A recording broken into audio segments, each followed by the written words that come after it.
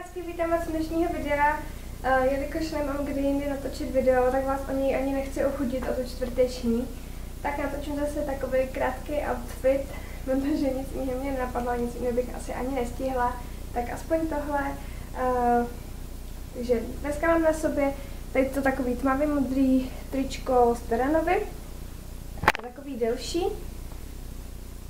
A má dlouhý rukávy tomu mám takhle šedý svetřík, který je, myslím, huh, asi buď z taka nebo z CAčka, jedno z toho, teď nevím. A k tomu mám ještě takhle hnědý kalhoty, které jsou taky buď z taka nebo z CAčka, ale myslím, že spíš z taka. A už mám dlouho, takže určitě už je mít nebudou.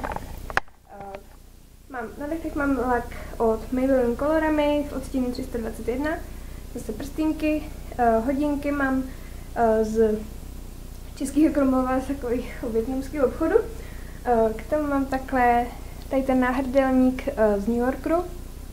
Udělala jsem si dneska cofánek, protože mám vlastní vlasy, takže tak. a na ušnici mám takovýhle ty kytičky, které jsou taky, myslím, z toho českého Krumlova.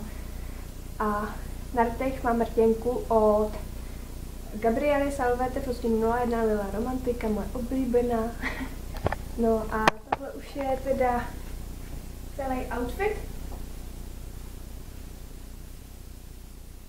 A tomu se nám líbí, je takový konty. a já se těším zase u dalšího videa, mějte se krásně a zase příště ahoj.